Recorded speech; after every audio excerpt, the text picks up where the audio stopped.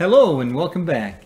In our previous video, we dug into the concept of limitless potential, imagining a life where self-doubt was a thing of the past and unshakable conviction guided our every move.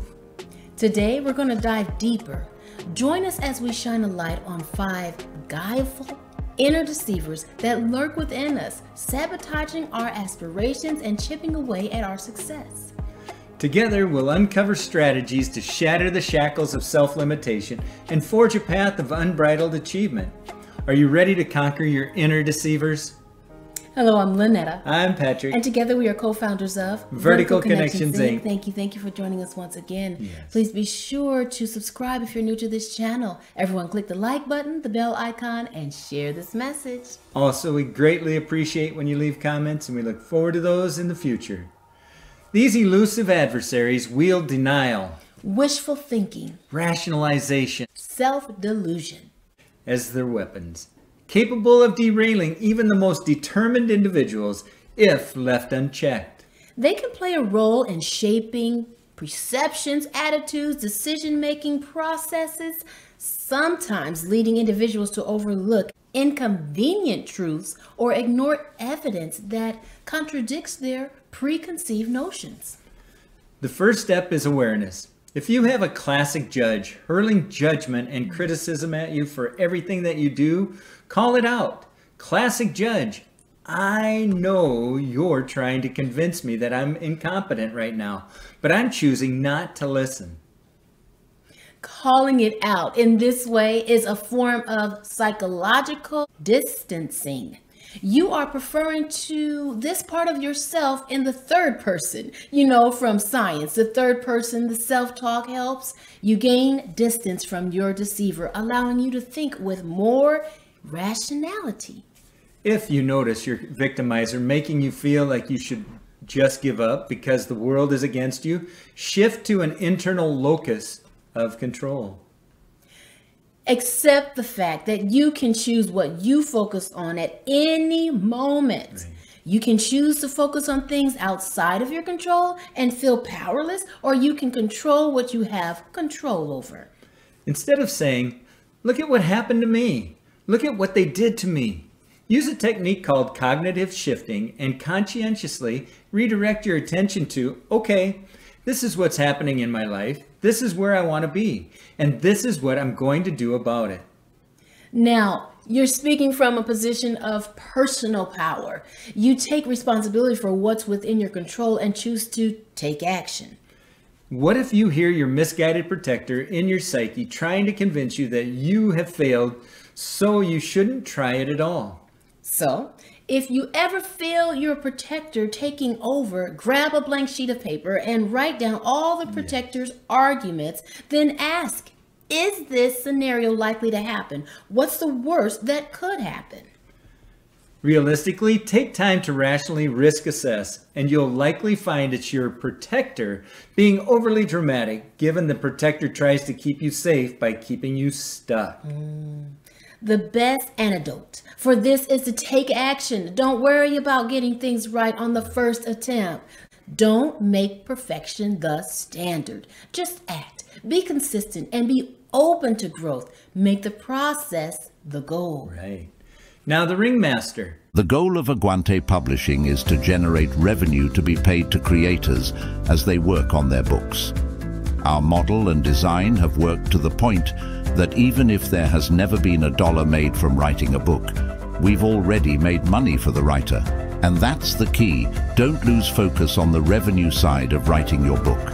Take a moment to set up a time that you can find out how this model can benefit you, not only today, but as you go forward into the future as well.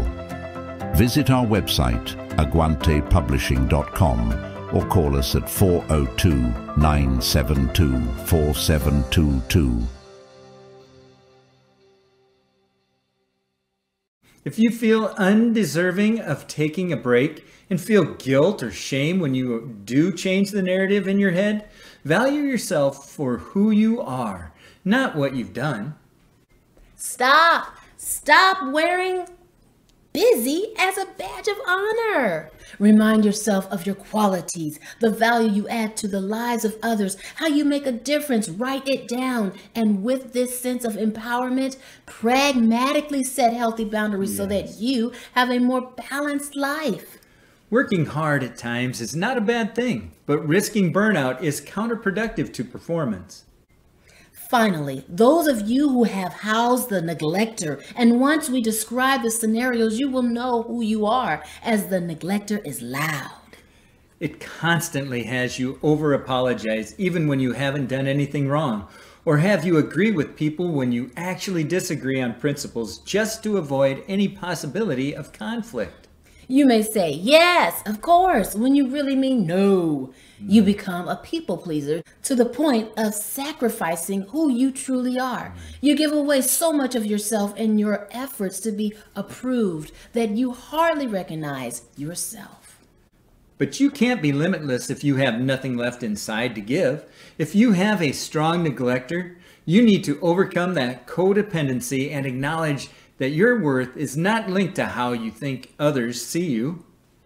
If you let people's perception of you dictate your behavior, you will never grow as a person. And when you do choose to give yourself in the future, ask, Am I doing this out of compulsion for approval, or is it in a true spirit of service?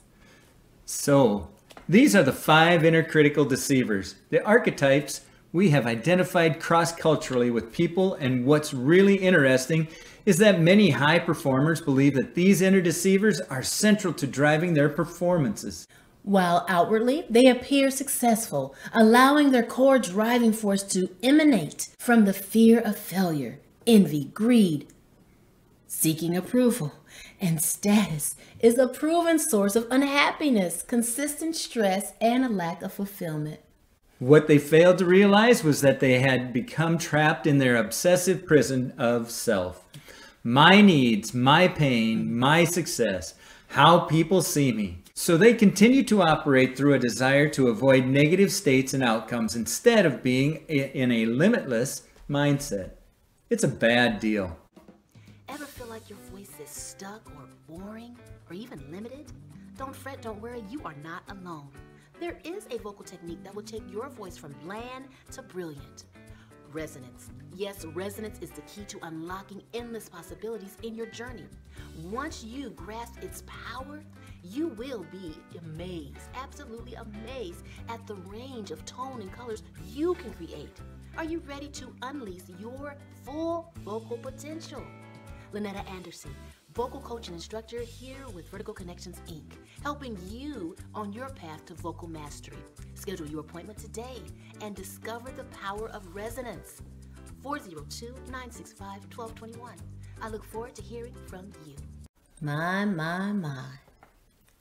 Here's a better deal. If our reality is indeed our thoughts, emotions, and how we uniquely experience the world, then we invite you to acknowledge that there is a second side to us, a higher nature, if you will.